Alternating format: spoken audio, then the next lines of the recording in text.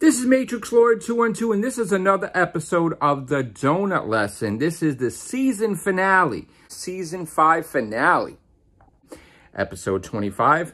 So here we have the Thanksgiving two out of the three, because I can't have the third one because it's pecan and I can't have nuts. So this is the mini glazed and the mini apple um, donut one.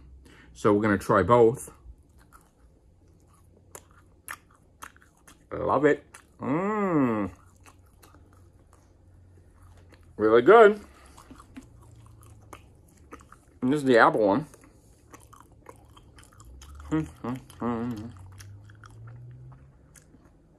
Okay.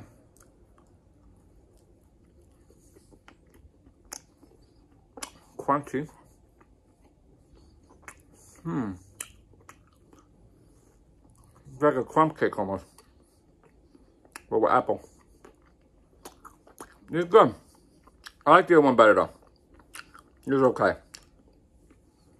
Hmm. Yeah.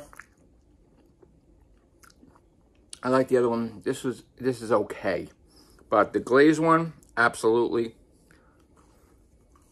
delicious. And that's what they're famous for, is the glazed ones anyway.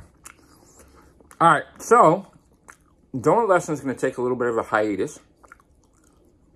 I'm to plan out the next season. And I'm possibly going to come back with a new donut place or two or three, depending. And another 25 episodes. Haven't decided when that's going to start. If it's going to start soon or if it's going to start in January. But I'll make that decision and you'll know about it. All right, so have a great day, guys. Take care. Bye for now.